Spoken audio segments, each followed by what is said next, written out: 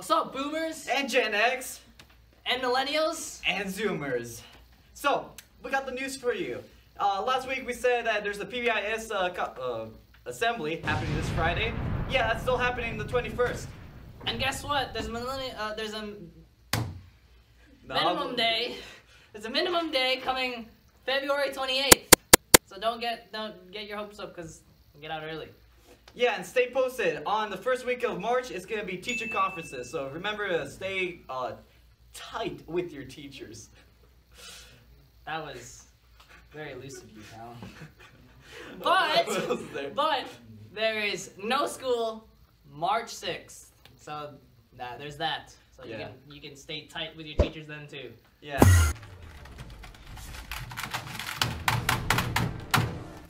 PogChamp. Welcome back to Gamer Guy Tips. I am your host, Gamer Guy. This week we'll be covering some pretty epic games, if I do say so myself. So, we're gonna jump right into this. You see this game right there? This game's called League of Legends. Here's my Gamer Guy tip for that. Don't play it. Just don't. It's a horrible game, okay? Mo moving on, okay. Next game, the hit game Minecraft. Little known fact about this game. If you get four soul sand, make a little T, and you get three wither skulls, and you put that inside your, your base, you're actually gonna have a little pet that protects you from zombies. So next time you're playing survival, get all that stuff, put it in your base, and you'll be set for the rest of the game. Because you can't die, because it'll just, your little, your little pet's gonna kill them all. Now, to this hit battle royale game, Fortnite.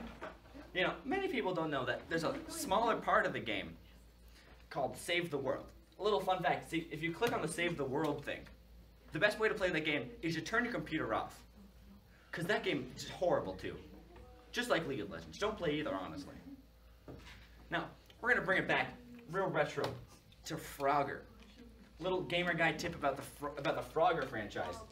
If you uh, take your controller and just throw it, you win the game. Throw it as hard as you can across the room. If you break a wall, that's actually even more points. And for all those computer gamers out there, one final tip for you guys. If you have a nice infomercial computer like I do, it actually heats food up while you play it. So while I've been doing this, it actually heated me up a nice, a nice letter, a nice letter D. This week's letter is the D, is, is D, the letter D. Fun fact about the letter D is the first time the letter D shows up in counting is the word 100. I was a dangerously cheesy fact, am I right?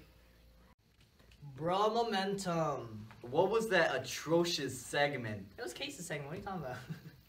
okay, at least like these people aren't atrocious. Happy birthday, all these people. Happy birthday! All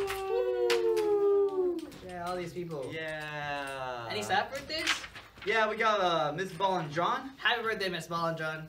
Hope you have a good week. And yeah. Hey. See you guys. Minus A next week.